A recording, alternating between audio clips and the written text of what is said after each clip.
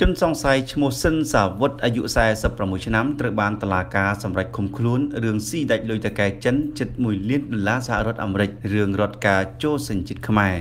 ជនសង្ស័យឈ្មោះសិនដាវុតអាយុ46ឆ្នាំ ជានាយកគ្រប់គ្រងទូតទៅនៃក្រុមហ៊ុន Goldworks ដែលពាក់ព័ន្ធទៅនឹងករណីស៊ីដាច់លុយថកែចិនជិត1លានដុល្លារសហរដ្ឋអាមេរិករឿងរដ្ឋការចូលសញ្ជាតិខ្មែរដែលត្រូវបានតុលាការសម្រេចឃុំខ្លួនកាលពីរសៀលថ្ងៃទី28ខែមករាឆ្នាំ2021តឡាការបានចាត់ប្រកាសពីបទរំលោភទំនុកចិត្តពិសេសដោយអភិបាលលើជនសង្ស័យ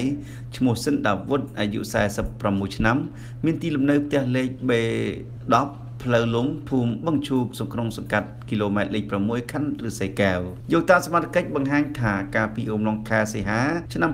2019តកែចិនឈ្មោះច័ន្ទខាន់ហ្វុងយ៉ាន់បានពឹងពាក់ឲ្យឈ្មោះសិនដាវុតដែលជានាយកគ្រប់គ្រងទូទៅក្រុមហ៊ុន Goldwell ដាក់ពាក្យសុំចូលសញ្ជាតិខ្មែរដោយតកែចិន3នាក់គឺឈ្មោះយ៉ាងតាក់ជុងឈ្មោះឡាំឡាយភេទស្រី និងឈ្មោះគិន សឹងវេដែលជាក្រុមប្រឹក្សាពិបាលក្រុមហ៊ុនឈ្មោះសិនដាវុតបានឲ្យលោកខាន់ចាន់ហ្វាន់យ៉ាន់ប្រកល់ប្រាក់ចំនួន76,000ដុល្លារសហរដ្ឋអាមេរិកមកឲ្យខ្លួនដើម្បីរត់ការដាក់ពាក្យសុំចូលសញ្ជាតិដោយសន្យាថា ក្នុងរយៈពេល90ថ្ងៃទើបបានលទ្ធផលក្រោយមកឈ្មោះច័ន្ទខាន់ហ្វាន់យ៉ាន់បានប្រកល់ខ្សែ10សន្លឹករបស់ធនាគារសហពាណិជ្ជ កអមានលុយសរុបចំនួន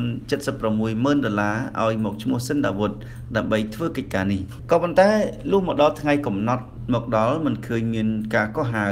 ដើម្បីឲ្យស្បត់ប្រកាសចូលសញ្ជាតិសោះឡើយហើយឈ្មោះសិនដាវុតបានកិច្ចខ្លួនបាត់រហូតទើបដល់ថ្ងៃទី27ខែមិថុនាឆ្នាំ2020លោកច័ន្ទខាន់ហ្វុងយ៉ាន់បាន